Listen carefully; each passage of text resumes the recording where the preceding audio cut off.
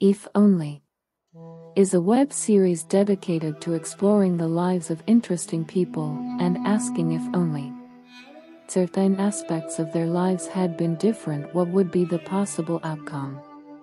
If only. Looks at Julia the Elder, Part 1.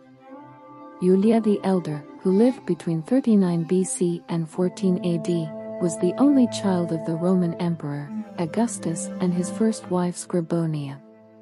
As part of the imperial family, she like many of her family members, were written about in ancient literature by Roman authors from antiquity. The Roman scholar, Macrobius Ambrosius Theodosius, who was Praetorian prefect, commander of the Praetorian Guard of Italy in 430, wrote of Julia. that she was quick-witted, loved and adored by her father. Augustus provided Julia with the best teachers money could buy. Also according to Macrobius Julia had a love of reading, and to quote him directly, her love of literature and considerable culture, a thing easy to come by in that household. This concludes part 1.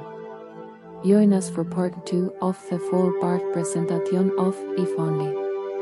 Julia the Elder to find out more about this often overlooked or reviled historical figure from the Roman imperial family.